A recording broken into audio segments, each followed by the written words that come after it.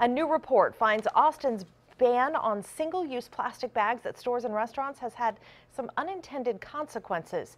The City Commission study found the number of those thin bags decreased since the ban took effect in 2013.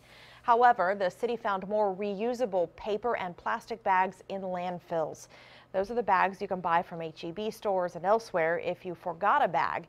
Those bags are thicker and they take more energy to create, so someone needs to reuse the bags between 4 and 12 times before throwing them out. Otherwise, they'll have an even worse impact on the environment. So what can be done? Well, the report recommends eliminating the thicker plastic bags as options. It also suggests a plastic bag take back combined with a public education program. The report also calls on city leaders to encourage other communities nearby to adopt plastic bag bans.